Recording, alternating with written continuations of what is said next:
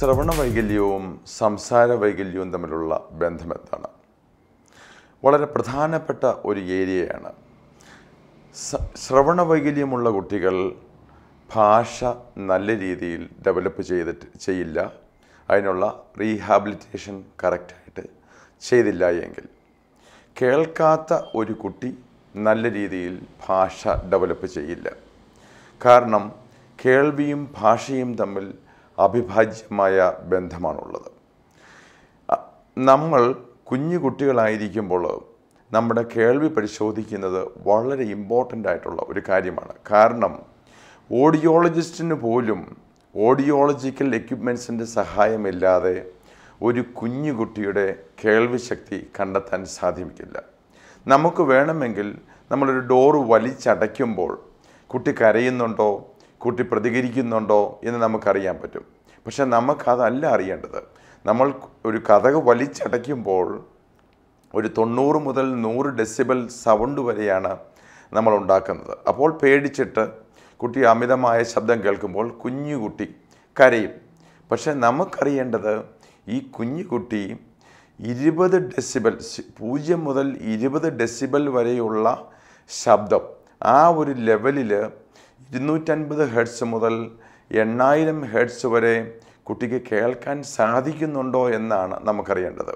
അതായത് കുട്ടിക്ക് normal hearing ആണോ എന്നാണ് നമുക്ക് അറിയേണ്ടത്. അങ്ങനെ ഉണ്ടെങ്കിൽ മാത്രമേ നോർമൽ ഹിയറിംഗ് ആണെങ്കിൽ മാത്രമേ ഉള്ളൂ. നമ്മൾ അമ്മ കുട്ടിയായിട്ട് താലോലിക്കുമ്പോൾ അച്ഛ അമ്മ ചക്കര ഉമ്മ എന്നൊക്കെ പറയുമ്പോൾ കുട്ടിക്ക് കറക്റ്റായിട്ടത് മനസ്സിലാകണമെങ്കിൽ കുട്ടിക്ക് നോർമൽ ഹിയറിംഗ് ആയിരിക്കണം. അങ്ങനെ ഈ കുട്ടി നൂറുകണക്കിന് പ്രാവശ്യം ഈ അമ്മയിൽ നിന്നും അച്ഛനിൽ നിന്നും വെല്ലിച്ചനിൽ നിന്നും വെല്ലുമ്മയിൽ നിന്നും ഇങ്ങനെ വാക്കുകൾ കേൾക്കുമ്പോൾ അത് കുട്ടി പ്രോസസ്സ് ചെയ്യുകയും കുട്ടി ഒരു വയസ്സ് കഴിയുമ്പോൾ മുതൽ കൊച്ചു കൊച്ചു വാക്കുകളും ബാബ്ലിങ്ങും എല്ലാം ഡെവലപ്പ് ചെയ്ത് അങ്ങനെ വളരെ സ്ലോയിലാണ് ഈ ഭാഷ ഡെവലപ്പ് ചെയ്യുന്നത്. നമ്മൾ സംസാരിക്കുന്ന ഈ മലയാളം എന്ന് പറയുന്നൊരു ഭാഷ വളരെ കോംപ്ലിക്കേറ്റഡ് ആയിട്ടുള്ള ഒരു ഭാഷയാണ്. നമുക്ക് വളരെ വളരെ ലാഘവത്തോടുകൂടി നല്ല വ്യക്തതയോടുകൂടി സ്ഫുടമായിട്ട് നമുക്ക് മലയാളം പറയാൻ സാധിക്കുക എന്ന് പറയുന്നത് നമ്മൾ വളരെ ചെറുപ്പത്തിലെ നമ്മൾ മലയാളം പഠിച്ചതുകൊണ്ടാണ് അതുകൂടാതെ മലയാളത്തിന് അമ്പത്താറ് ലെറ്റേഴ്സ് ഉണ്ട്. ഈ അമ്പത്താറ് ലെറ്റേഴ്സ് ലോകത്തിൽ വളരെ ചുരുക്കം ഭാഷകൾക്കേ അത്രയും ലെറ്റേഴ്സ് ഉള്ളൂ. നമുക്ക് നമ്മുടെ നാക്ക് ഏത് രീതിയിലും വളയ്ക്കാൻ പറ്റും. അങ്ങനെയാണ് നമ്മുടെ ഇക്ഷ ഇണ്ട ഇണ്ണ എന്തുകേരം വളരെ ഡിഫിക്കൽട്ടായിട്ടുള്ള വാക്കുകളാണ് മലയാളത്തിലുള്ളത്.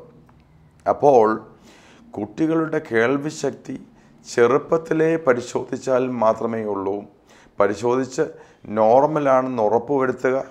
നോർമൽ അല്ല എങ്കിൽ അത് ഓഡിയോളജിസ്റ്റ് റീഹാബിലിറ്റേഷൻ വഴി പെർമനന്റ് ഹിയറിംഗ് ലോസ് ആണെങ്കിൽ ആധുനിക വൈദ്യശാസ്ത്രത്തിൽ ഒരു മരുന്നും ലഭ്യമല്ലാത്തതുകൊണ്ട് ശ്രവണസഹായി എന്ന് പറയുന്ന ഒരു സൊല്യൂഷൻ മാത്രമേ നമ്മുടെ മുന്നിലുള്ളൂ.